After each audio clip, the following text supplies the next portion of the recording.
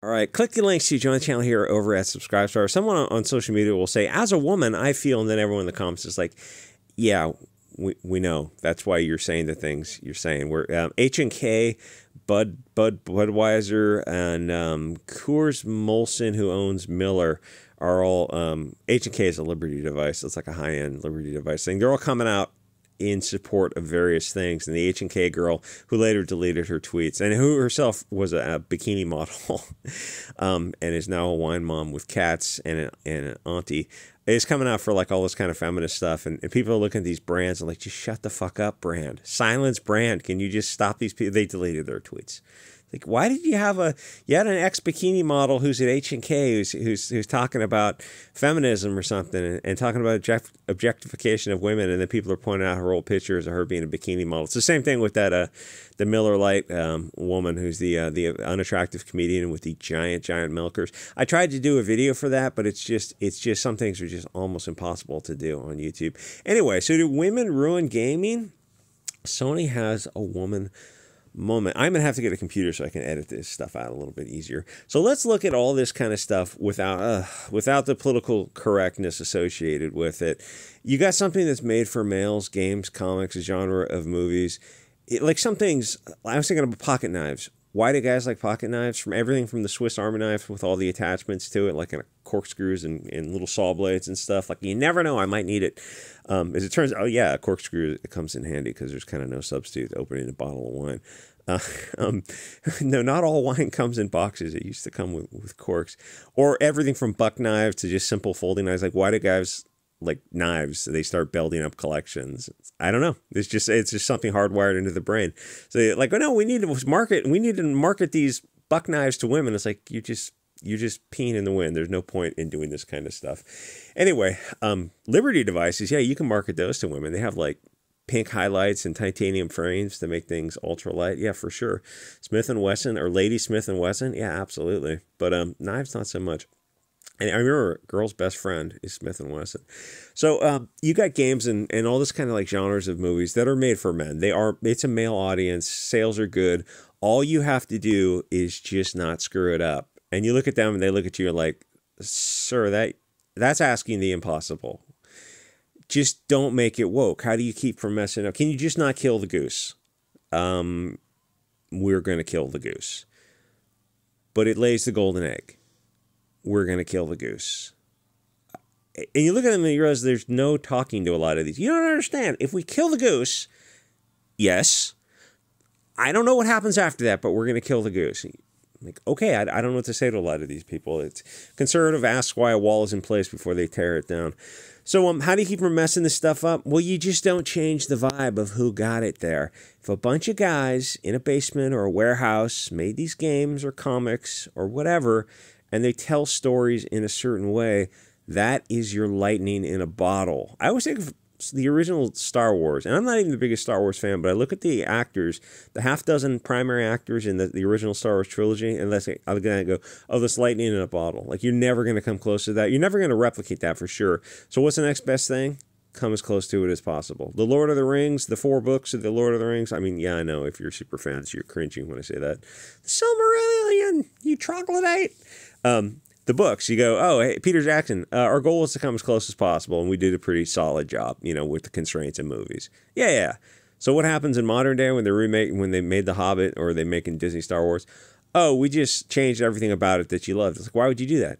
Because we're cultural Bolsheviks, you idiot. We have been the whole time. Why did the scorpion, the scorpion stings the frog? And it's like, why'd you do that? Lol. Because it's it's the nature of these freaking merman parasites. Anyway, um, so no, you're not gonna capture light in a bottle. You just you just try not to kill the golden goose. Be honest about the vibe. Stuff isn't good or bad. It just is what it is. You got five guys in a garage who's making comics. That's the wave. Just keep surfing it. All you have to do is not get woke because woke isn't what got your audience in the first place. And when they use words like, uh, there's a bunch of articles on Bad Comics today. Actually, I'm trying to squeeze out a few videos, and they're all they're all bad news. If you're if you're looking at anything on the horizon, I go, oh yeah, it's gonna suck. You're like, what are you talking about? You don't even know that. It goes, is it a movie? Yeah, then 99% of them sucks. Is it a video game?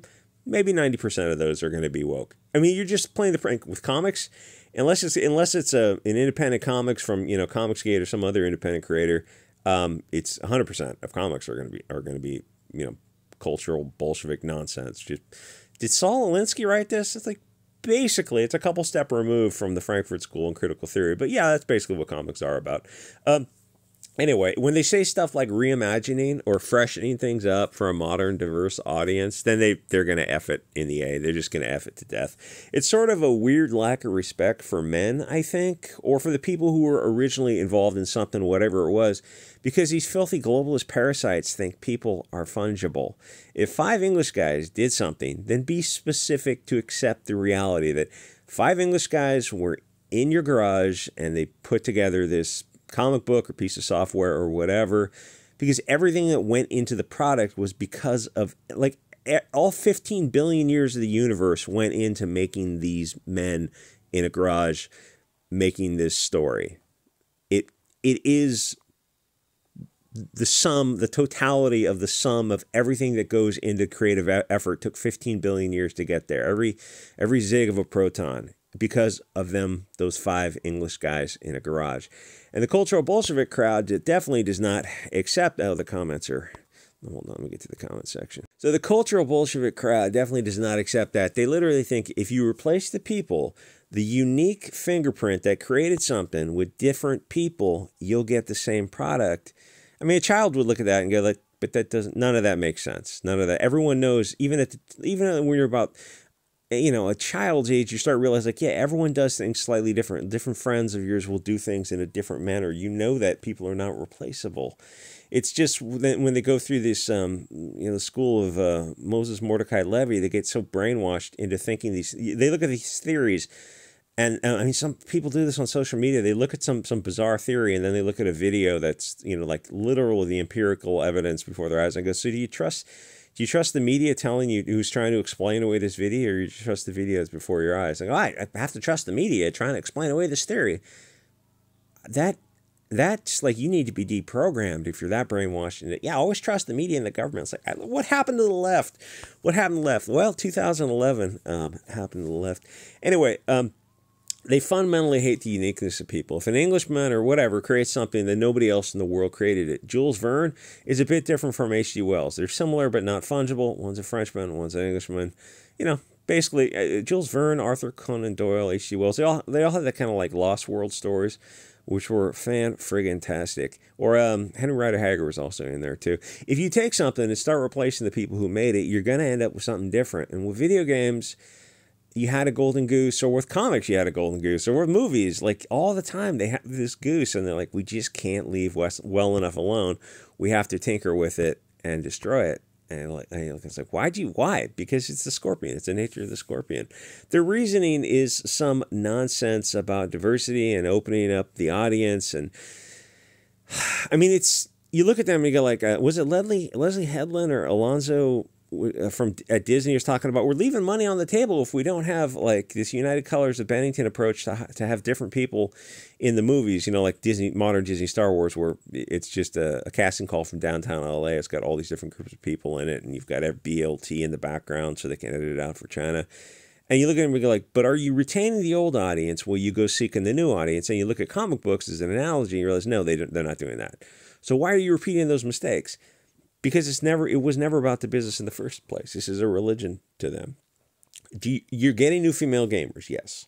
Are you retaining the old gamers? You know, really only time will tell with that kind of stuff. But I can, you know, you can look at the comic book industry. Like, did did the new women in the industry, the customers, balance out the men that left it? No, absolutely not. Comics are not what they've been. And yes, yes, I know touch grass and put your fingers inside a woman and go outside and yikes, just yikes, friendo, and, and bad take, guy. Um, but they did destroy all these things because they replaced the men with woke women. And it's not just me saying that. You can, for comics, you can go read that stuff. It sucks donkey nuts. Now, cultural Bolshevism and critical theory has come to game, so everyone's going to be fat and brown and BLT and whatever is current trendy of the day, they're going to push that, especially the T of the BLT, which is funny because you figure like the industry is behind the cultural, I don't know, winds of change, the zephyrs, the zeitgeist, the cultural, the front of the wave front part. And the industry's behind that. So the industry is kind of catching up, pushing the T part of the BLT, and people are starting to pull back from the T part. and they're starting to you know the TRA versus the turf war type of stuff. People are looking at the T. Even the the the the the gay community is looking at the T part and going, ah, this is like an anchor. It's probably time to cut it free. And people are finally cutting it free, but it's at the exact same time that the industry is trying to push it. There's an Archie comic. Archie is a fascinating comic history. Also, that they've been they've been just insanely, insanely anti-white for a long time now. Anyway, um, cat ladies get involved in something, and soy boys. Again, but soy boys, you can kind of like if you have one soy boy in a group, you can force him to stay on messaging. But cat ladies and soy boys teamed up, it's like it's just beyond hope. And if you have an HR department, it's like, yeah, that's you're you're better off going back to a garage and you know and people peeing in the backyard and, and like making killer products than you are opening up and like suddenly we have a human resource department. Her her name is you know Iron Box. It's like she's all skilled on feminist theory and, and critical anti-white theory. And it's like, yeah, this is gonna you're just gonna kill the golden goose. Yeah, why do why do we seem to repeat these mistakes over and over again?